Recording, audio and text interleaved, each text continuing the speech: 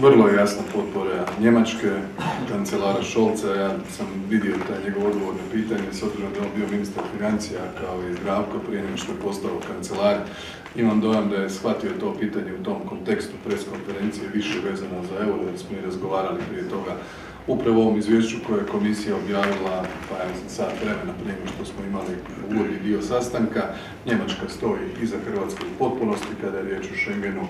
Mi smo, kao što znate, dva puta dobili i vrlo pozitivnu ocjenu Europske komisije o tome da smo ispunili sve kriterije da preuzmemo cijelu šengensku stečevinu. To je bilo prvi puta sa Junckerovom komisijom u studenom, a Valdis je bio i član te komisije, pa jako dobro zna što smo učinili u tom trenutku, u listopadu ili studenom 2019. A druga je bila prošle godine, kada je povjerenica Johansson, kada je prezentirala reformu cijelog šengenskog sustava, ocijenila je da je Hrvatska ispunila sve kriterije za vrijeme slovenskog predsjedanja, dakle na vijeću za unutarnje poslove i pravosuđe donesena je prva odluka, u ovom trenutku čekamo da Francuska stavi tijekom ovog mjeseca na razinu vijeća nacrt odluke o Hrvatskoj koja ide prema Schengenu. Nakon toga se zbiva vrlo sličan proces kao i sa eurom, dakle ići će se na mišljenje, Europski parlament, gdje će također biti izvjestitelj kao što postoji za euro, bit će i za Schengen i nakon toga se stvar